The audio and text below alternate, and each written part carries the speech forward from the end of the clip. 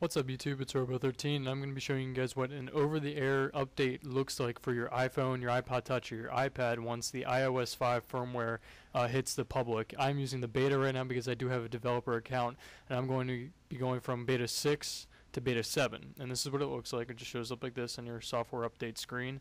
It'll then bring you to a terms and conditions page. You just have to read that really quick and then click uh, agree.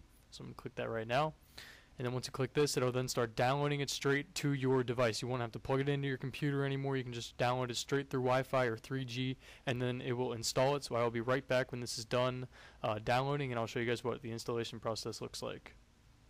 Alright, so now, now this is almost completely done downloading, and when it does finish downloading, it will then uh, reboot the iPhone and then start to uh, download the, the rest of the firmware. Alright, so now it's completely downloaded and now it's going to say install, but it does not let you click it. it. I mean, you can click it, but it'll just do it for you if you don't click it anyway, which is kind of annoying. But So now it's verifying the update. And now it is going to start installing the update on my phone. Alright, so now it is just respringing and now it's going to be start to install it. And now that went really quick. And now I'm going to wait until it finishes and then it goes through it again and then once it finishes installing it and then it'll uh, respring it again and it'll bring you back to the home page so I'll just wait for that.